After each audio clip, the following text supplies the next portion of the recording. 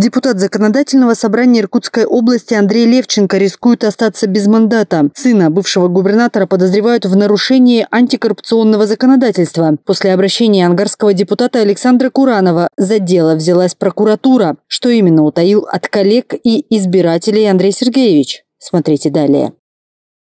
746 446 рублей и 54 копейки. С таким финансовым результатом закончил минувший год депутат законодательного собрания Андрей Левченко. Однако эти цифры далеки от реального состояния дел. Как выяснилось, парламентарий забыл задекларировать три банковских счета и имущественные обязательства на 57 миллионов рублей. Об этом стало известно по результатам проверки областной прокуратуры. Инициатором антикоррупционного расследования выступил депутат Думы Ангарского городского округа Александр Куранов. Все э, доводы, приведенные мной в обращениях, подтвердились, э, в связи с чем прокуратура Иркутской области внесла представление в законодательное собрание Иркутской области, в частности в комиссию по регламенту этики, которая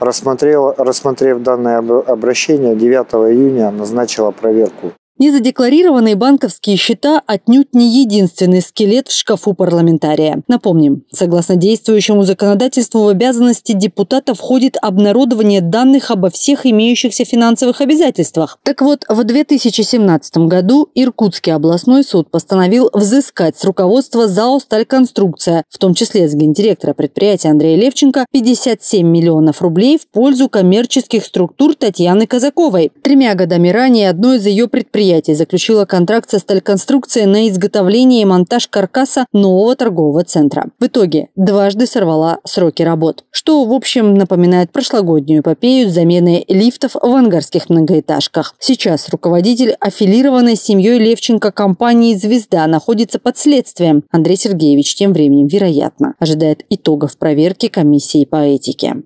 Данная проверка должна быть проведена в течение не позднее 60 дней с начала внесения данного представления.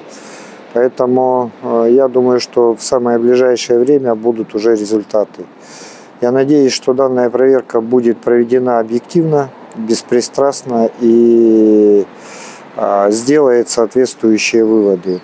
Итогом такой проверки с большой долей вероятности может стать лишение Андрея Левченко депутатского мандата. Ведь предоставление неполных сведений об обязательствах имущественного характера у депутата – нарушение федерального закона о противодействии коррупции. Поиск ошибок в декларациях был излюбленным методом давления на неугодных депутатов во времена администрации Левченко. Например, декларация Александра Куранова чиновников заинтересовала надувная лодка. Не использует ли ангарский парламентарий ее в камере коммерческих целях. При этом в декларациях членов политического семейства Левченко нарушений на десятки миллионов рублей. Чем закончится очередной коррупционный скандал с участием сына бывшего губернатора, станет известно в ближайшее время.